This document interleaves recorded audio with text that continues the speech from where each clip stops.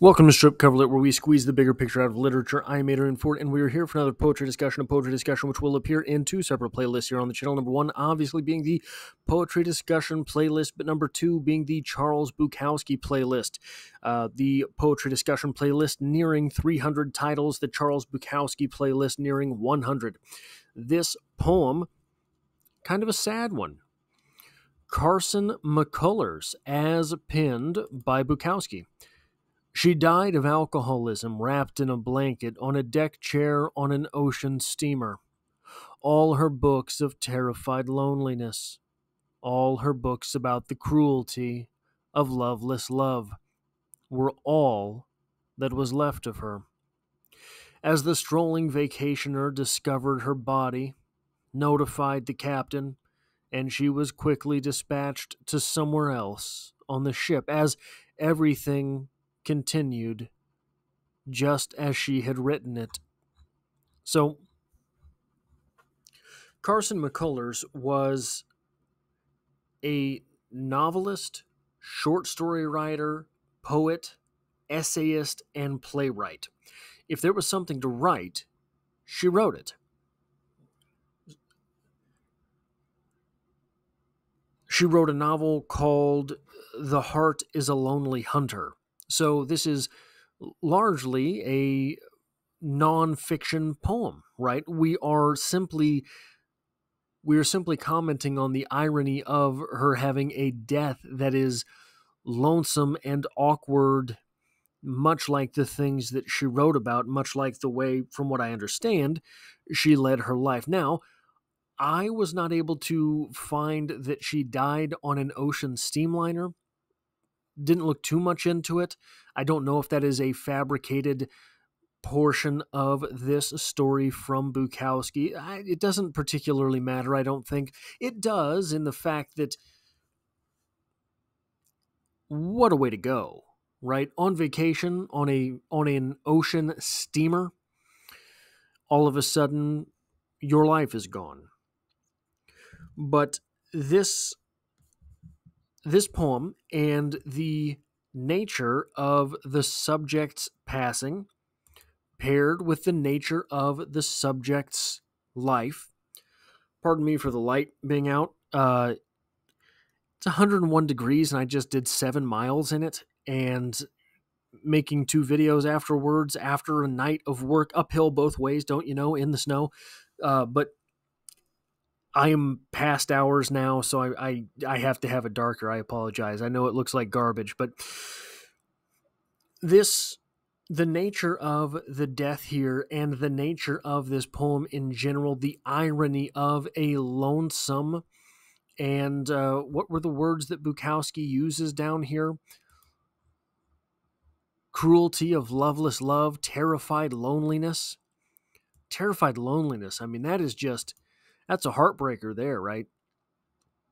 These words, the irony of our subject passing in the same way that she wrote about, it raises the question why do we read? Why do we write?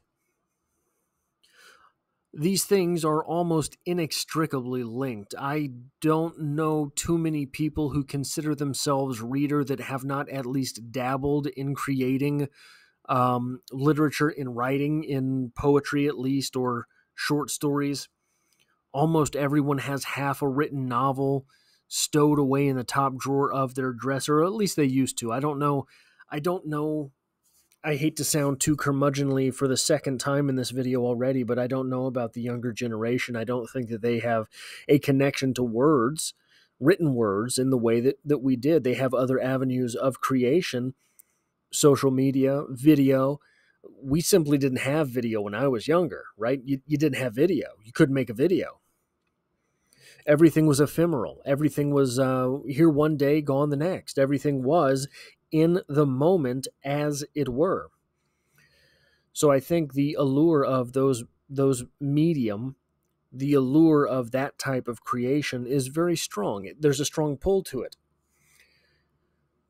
But why do we read? Why do we write? Reading and writing, they're not living the life. They're not doing the thing. They're not particularly even relaxing. Some people read to fall asleep, but that's a different type of reading. Really, what you're doing is pacifying the mind and occupying your eyes. If if you are using uh, reading as a means to fall asleep, and what it will do, it'll ruin your readerhood because you will condition yourself, uh, even if it's noon, you'll start reading and pass out. I know, I was there, I did it to myself.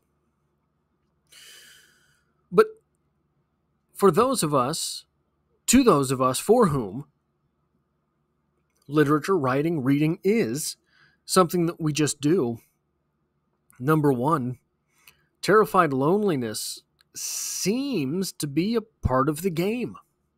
Seems to be just kind of one of the rules.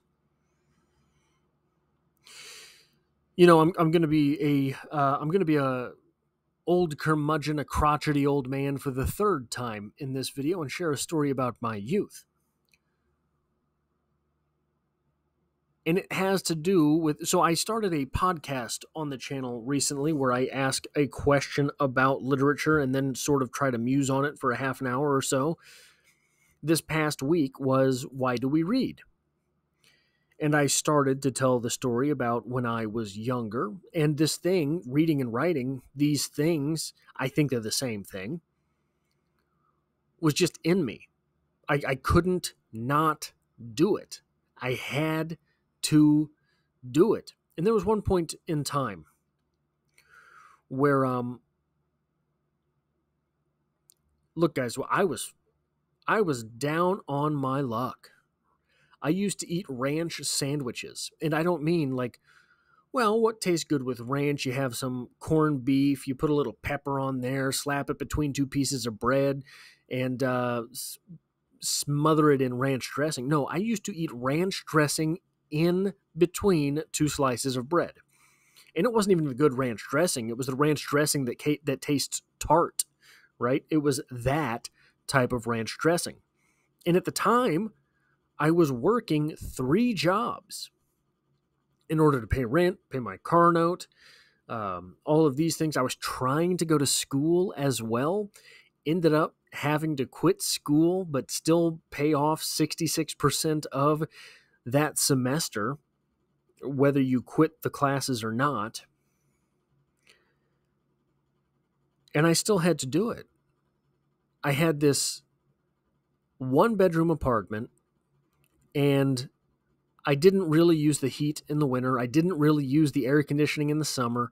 If it was 88 degrees outside, it was 88 degrees in my apartment. And the weird thing, absolutely strange thing about that, if you've never lived under those circumstances, you take a shower and you just don't stop sweating. It's weird. I, I don't know what that mechanism is, but you go to work sweated through your clothes, which is very embarrassing. In the winter, you sleep in your coat, right? Working three jobs, struggling through that, quit school, but I still had to do this thing. I had this little card table in the corner of my room, and I had this uh, desk lamp and a notebook and I had to do it. I couldn't not do it. Why?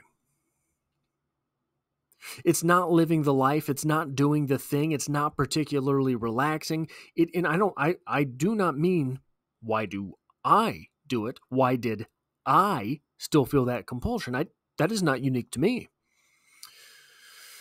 Even Christopher Hitchens, who, to the best of my knowledge, never wrote a poem or a word of fiction in his life, was a polemicist,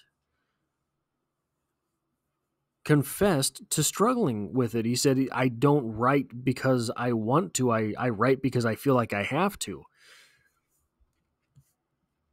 And here we have this the story of this woman, Carson McCullers, a writer finally took a vacation and died in the manner that she wrote about people. Is that sad? Is it? Is it fitting? Is it? Is it possibly bittersweet? Is there a bittersweetness here? This individual basically calling her shot her entire life? The the big bambino pointing to deep right field and then hitting that home run? Is there something to Bukowski picking out the irony of this event, knowing full well he would die in a not pretty manner, as he wrote in a not pretty manner? Is this just one of these events where the universe works itself out all too perfectly?